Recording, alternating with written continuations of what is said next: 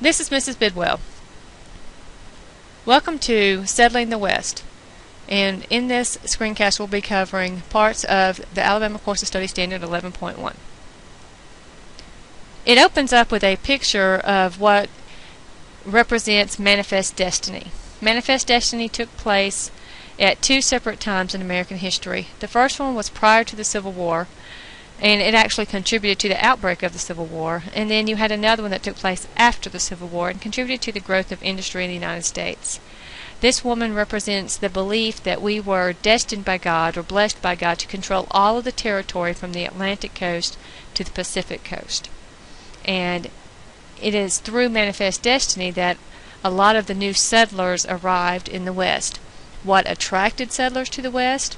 The idea that if they if they went out on their own, then they could make it.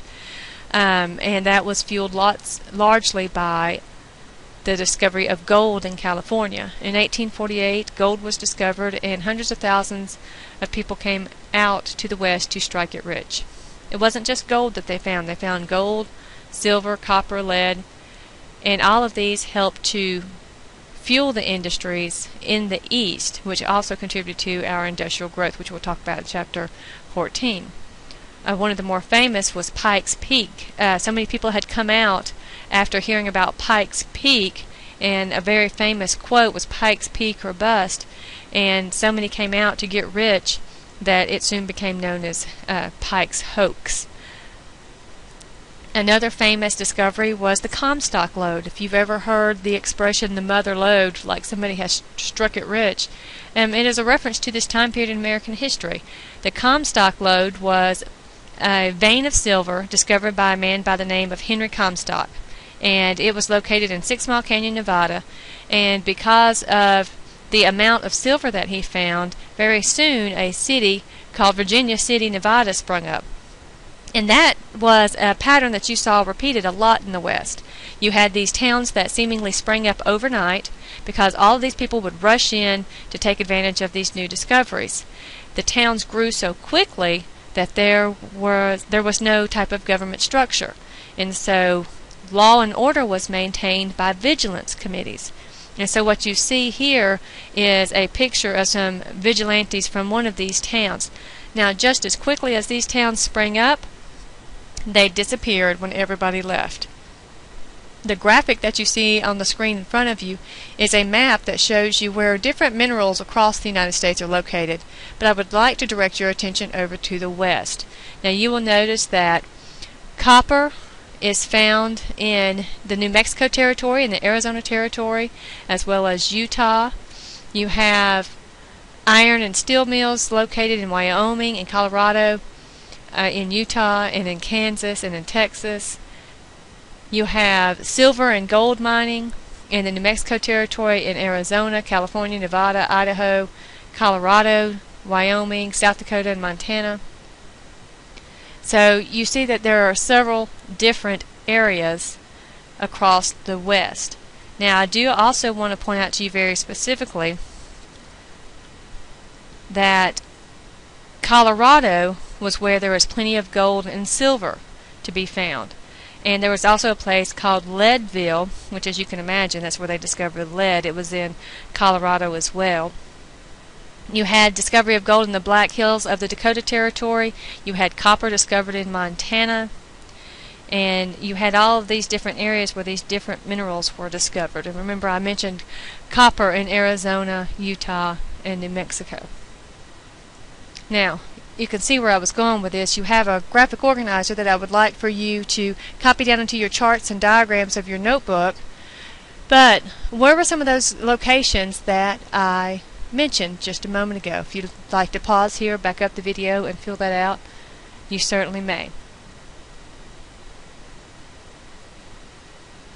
So, I just told you that there was silver that was located in Nevada, copper in Montana, gold in the Dakota Territory, gold in Colorado, and lead and silver in Leadville, Colorado.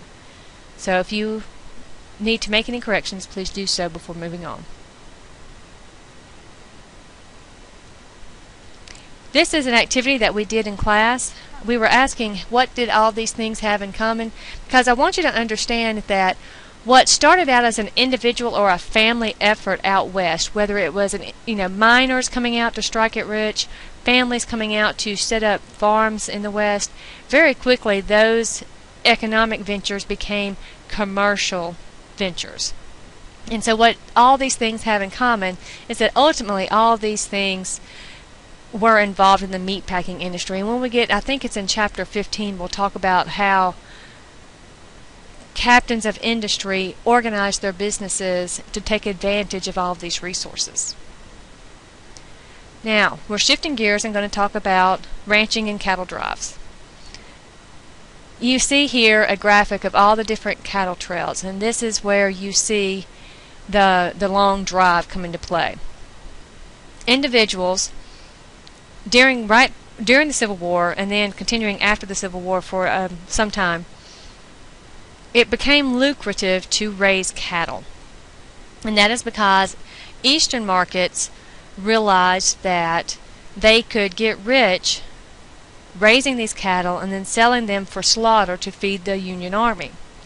And something that contributed to that as well was the open range.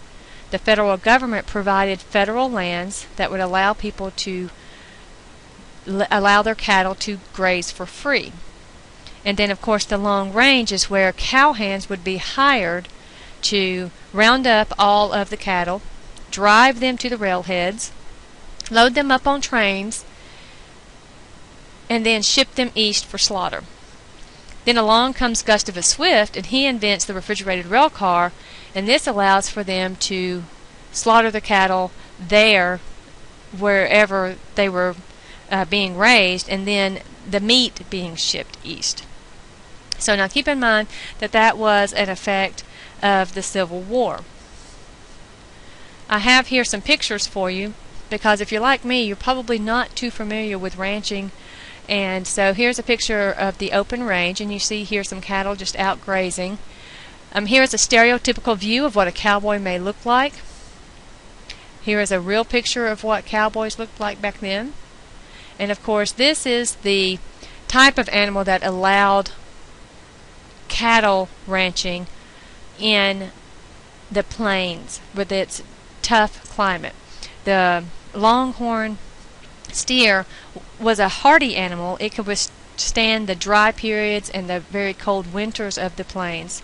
And it was brought over um, from, I believe it was the, the Mexicans that introduced these to the United States. But this was the animal that allowed for the the lucrative cattle raising business. So, I told you that three things contributed to the growth of the cattle industry. You have the Civil War. Remember, I told you they had to feed all those Union soldiers. You have the open range, allowing people to um, let their cows graze for free, and then, of course, the railroads, because without the railroads, they were not able to ship the cattle back east for profit. So here you have another graphic organizer. Again, I want you to pause. I want you to answer the question what allowed for the growth of the cattle industry. Now make sure you pay attention to the pictures and explain, come up with a sentence or a, a bulleted list explaining each one of those. Now, take the time to correct your answers. Remember, this is going to go in your charts and diagrams portion of your notebook. So, why?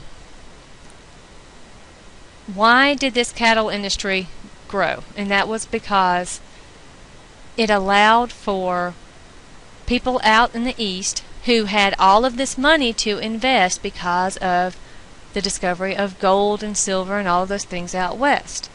And so they invested in different industries, and this happened to be the cattle industry. And so you have the railroads, you have the Civil War, which made it profitable. You had the open range, which made it affordable. So I want you to be able to explain why that was possible. But all good things must come to an end, and range wars broke out. Uh, one of the things that contributed to the range wars was barbed wire.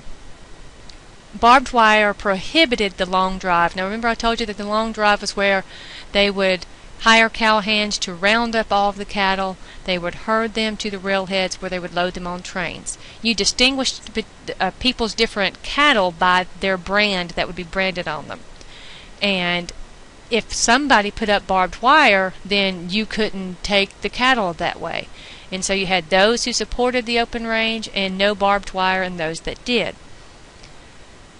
In the end, it is going to become, with the refrigerated rail car, it's going to become more cost efficient for ranchers to enclose their cattle and pay cowhands to take care of the herds on their own property.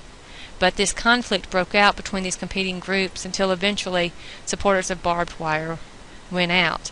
Barbed wire was also supported by farmers who were coming out to the plains to establish their own farms.